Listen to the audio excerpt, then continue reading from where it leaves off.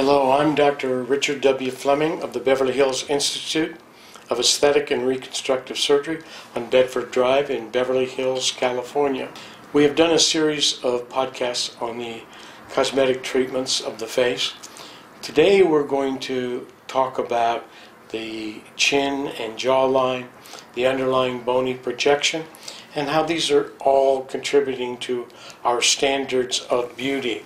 Mm. If one looks at Kim Kardashian, whom we all know, you see she's got a well defined jaw that sets off an aesthetically pleasing neck from the facial features above that jawline. This jawline is something that we all lose with age. Uh, people come in for rejuvenation surgery, such as facelifts. Really, what they are complaining about is they've lost this jawline and they have the relaxation and excess muscle, fat, and skin under their chins. So, when you have a patient like this with a great jawline and excellent chin projection, it just sets the standard for beauty. If we look at this young lady who has a very, very weak chin, you look at how nondescript her jawline is, how her neck looks. All that was done with this patient was placing a chin implant.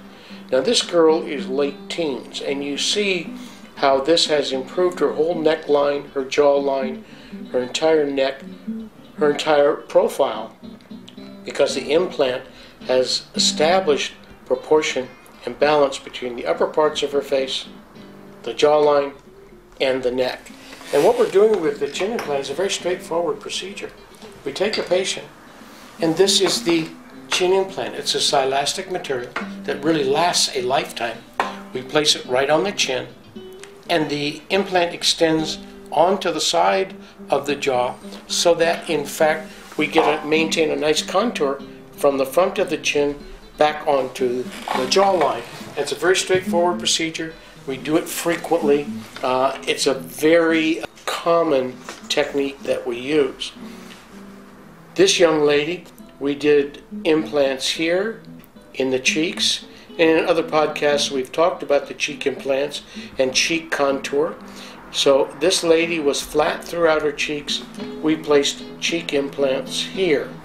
In addition, she had a weak chin, so we did in fact place a chin implant. The chin implants, the jaw implants are frequently combined with other procedures.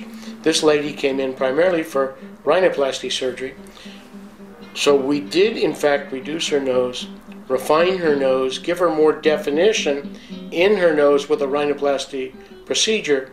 However, by placing a chin implant, it brings her whole profile into proportion. I could make this girl's nose look smaller by simply placing a chin implant because it'll establish balance between the lower third of the face and the middle third of her face. Chin implants are also done as part of our facelift and facial rejuvenation procedures. With aging, people complain about their face. What they're complaining about primarily is the jowls, which is the accumulation here, and the excess under the chin. If we simply put in a chin implant, we improve the whole neckline. They want their jawline back. We get their neck contour back. Now, this lady had a facelift as well as a chin implant, and as you see, she got her jawline back. She lost during the surgery all of this excess and sagging that had occurred secondary to the aging process. In younger people, they'll come in, they don't have a good jawline, they don't have good chin projection. They don't need implants.